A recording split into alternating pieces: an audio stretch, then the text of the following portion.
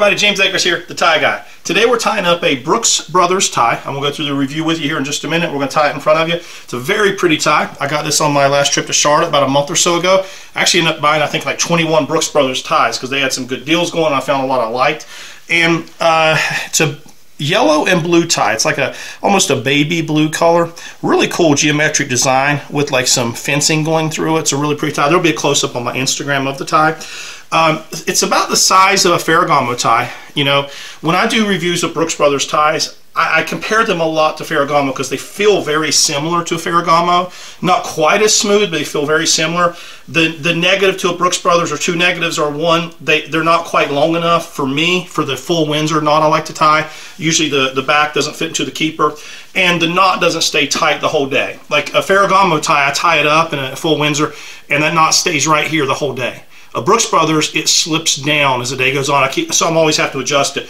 But at the same pro, same time, a Ferragamo tie is $190, a Brooks Brothers $80 or $90. So it's less than half the price. They are made in America and they use English and Italian silk depending on the tie. So let's tie this thing up and see how it comes together. Brooks Brothers is the oldest clothing company in America. I think they were created in um, 1818, I think, if I'm not mistaken. They just celebrate 200 years. And Abraham Lincoln were Brooks Brothers. So that's pretty freaking awesome, you know, um, to have that kind of a, a um, resume. So we'll find our spot here, probably right around here. Okay, if you need help tying your ties, look at my YouTube channel and click on one of the videos that says tutorial. I literally go step by step and teach you how to tie the perfect full Windsor knot. Uh, for the purpose of this video, I'm tying it in front of you so you can see the motions, but I'm not taking my time and going through it because I'm just going through the whole outfit and showing you a look here. Turn that down. Look at that, absolute perfect triangle.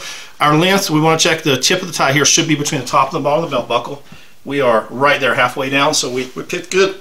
The thing about these Ferragamo ties, uh, I'm sorry, these uh, Brooks Brothers ties, them and Ferragamo are tie almost identical, and so I find the same spot. And I probably have more Ferragamos than anything else. Tighten this up here a little bit. Look at that beautiful knot. See how perfect. This is why I love a full Windsor, guys. Look how pretty that is. You guys that tie those half knots, you can't tell me that's not a pretty knot. It just is a pretty knot, okay? Just, you know. But again, Brooks Brothers, it's not, not quite long enough. See that? We're like a good three inches short.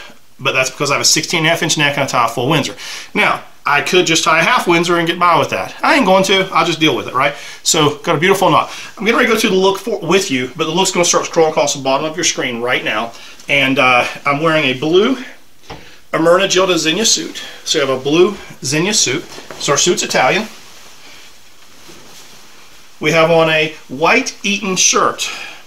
Eton is also European. I think they're Swiss, Swiss, I believe, I'm not mistaken. Eton. I could be mistaken on that. I have to look into that a little bit more. I know they make a great shirt.